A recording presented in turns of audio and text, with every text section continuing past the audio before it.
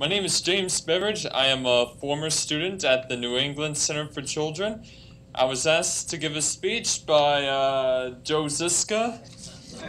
Oh yeah, I have, I have you. And uh, Roseanne Lovely. Where is she? Oh, there you are. All right, and I'm excited about telling you about myself.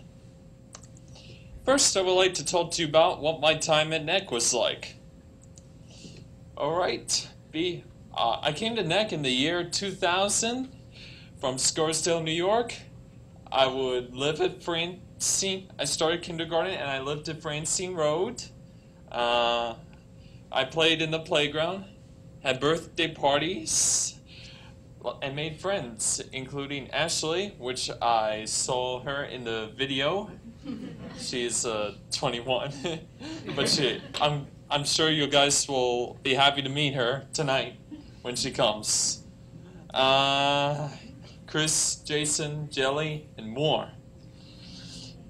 I felt sad when my mom and dad had to leave me at Francine Road, but uh, I felt glad that I made friends.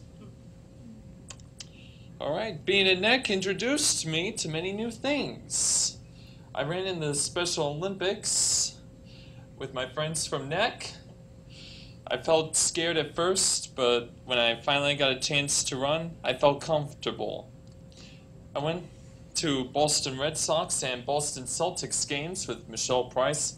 Sorry, she couldn't be here for this year's meeting.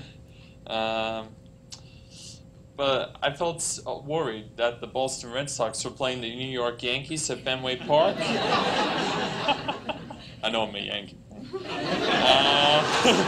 Uh, but at the Boston Celtics games, I was happy to cheer and uh, I felt excited to be at TD Garden. Though I was at NEC, I also got to visit my mom and dad, who are right there. a lot. We sometimes we sometimes spend the night at the Sheraton at Framingham. Uh, we would spend summer vacations up in Maine. In addition, when I went bowling with my friends from NEC, my mom came up with my grandpa. Every year I would come home for Thanksgiving, Christmas, and spent the holidays with my family. I felt happy to be with my family in Scarsdale, New York, and in Maine. All right, when I was eight years old, I moved from my NEC dorm to living with Rose and Paul Tierney, which uh, you guys made it today. Thank you. Uh, there, I got to meet Julia and Kevin Tierney, Rose and Paul's daughter and son. I loved jumping on the trampoline in her backyard. I went to Finn's school for second grade, and when I have homework, I did it with Rose. Uh, all right. And after Finn's school, I went to Woodward School for third grade. There were more field trips, and I did a field day fun. I liked living with Rose, Paul, Julia, and Kevin, but the time came to move home to Scarsdale. Next, I would like to talk to you about what my time after Nick was like. When I moved home from Nick, I went to Greenacres Elementary School.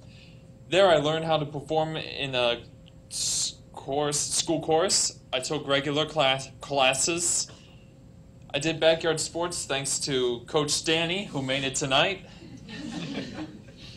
All right. I felt nervous because I didn't know a lot of kids in Scarsdale until I met new kid, new friends at Greenacres, including Gaia, Kyle, Finbar, and Eric. And I felt better. Then I went to Scarsdale Middle School where I was asked to play rec football and then was invited to play rec basketball. I also performed in the middle school chorus concert and I did more schoolwork.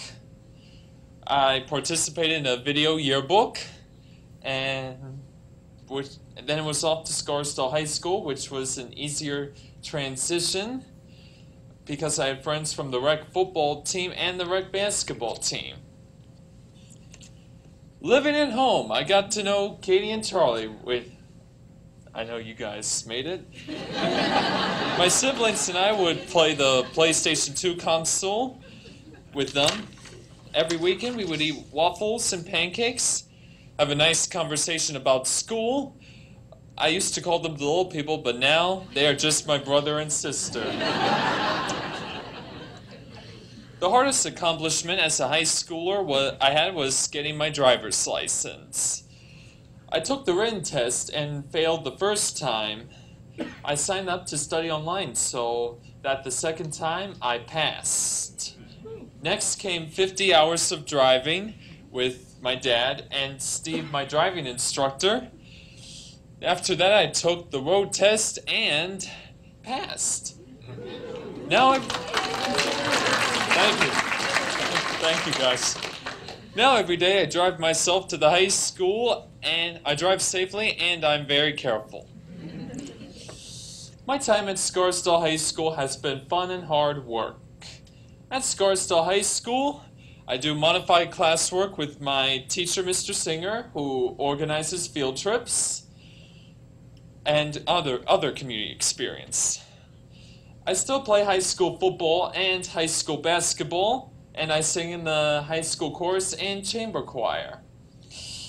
In addition, I tried the school track and field team, and I participated in senior class Halloween and the village haunted house. My proudest community skill high school has taught me was to travel alone. First, I have to work hard to earn money. Then, I have to find the cheapest price and communicate with my mom and dad. I have slept in a hotel by myself in Portland. I have flown back and forth between Portland, Maine, and New York, NY. I have coped when my flights get canceled and like when my flights are on time. I am very proud that I can travel alone. Last but not least, I would like to talk to you about is the future. So, what will I do next? I'm trying to choose a post high school program. I take tours of the schools I'm visiting. I, I'm considering. I have to find out what classes I can take and what kinds of sports I can play. Are there dorms? It is kind of exciting and scary to think about. I hope my time at the next school is helping me become more independent just like Nick, did. Thank you very much, and here are all five pictures I added. as, you, as you can see, there's, uh, there's uh, me at the science fair at NEC where I was doing everything that's made of matter. There's me at NEC with Mr. Strawley, receiving my NEC diploma after graduation. There's me receiving my uh, Special Olymp gold medal at the Special Olympics. And there's me with Katie and Charlie in the truck up in Maine. Last but not least, there is a picture of me in my Scarsdale football uniform. Questions? Any questions?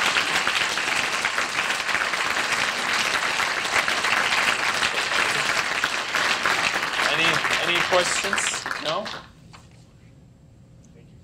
All right, thank you very much. Now I'll turn it over to Joe Ziska.